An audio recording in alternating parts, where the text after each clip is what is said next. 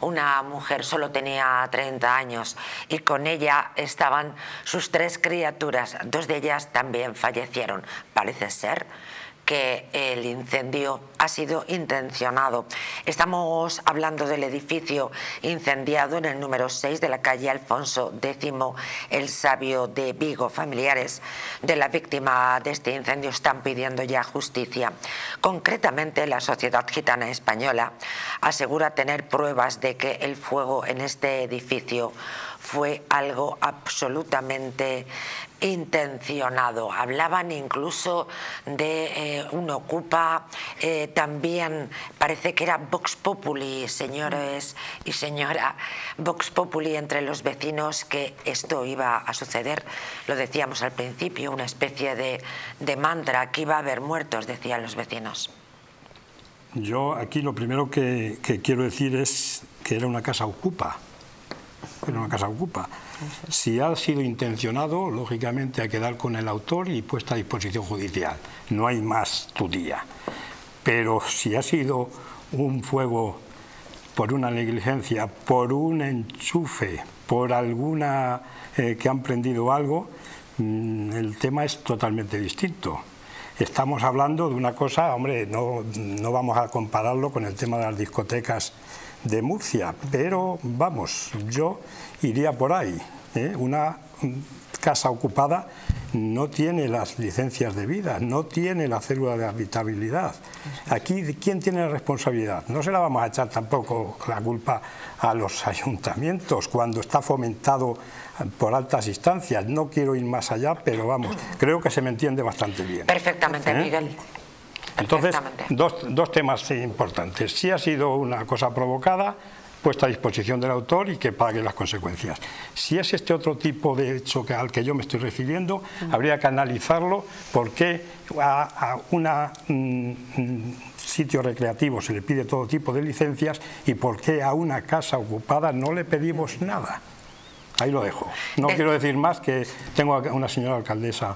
No des ideas ¿Eh? que aún encima van y se lo piden al propietario y no al ocupa. Porque, al, final, le van a pedir responsabilidades al propietario, por no tener las instalaciones debidamente y le van a procesar por negligencia al, procesa, al, propietario en lugar de al ocupa, sin justificar para nada y lamentar profundamente las muertes.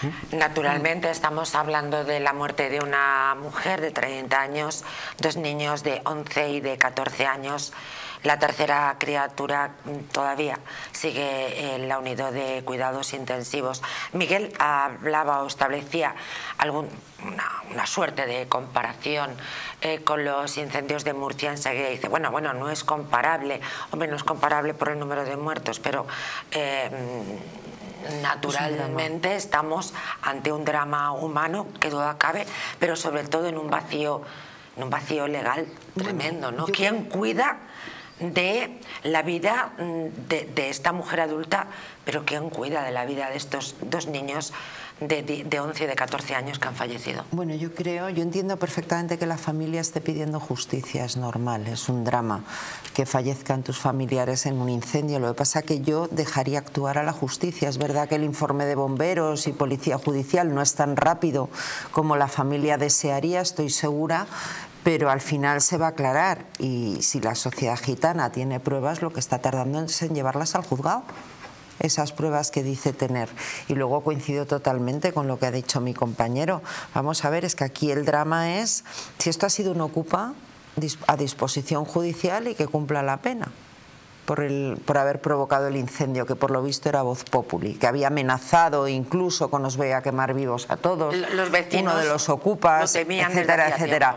Pues es así, una vez que se hayan determinado las causas, que es que esto es muy laborioso, esto los bomberos y policía judicial tienen que hacer un informe muy serio para determinar si había acelerantes, dónde se ha producido el incendio, es decir, no es algo que se haga de, de la noche a la mañana. Y una vez determinado, pues caminito de Jerez, si realmente ha sido un ocupa Claro, el problema es si ha sido un cortocircuito. ¿A quién responsabilizan las leyes? ¿A los que han invadido ilegalmente una propiedad o al propietario al que encima le han robado su propiedad? Tela, ¿eh? Con el tema. Mariana. Tremendo. Es tremendo.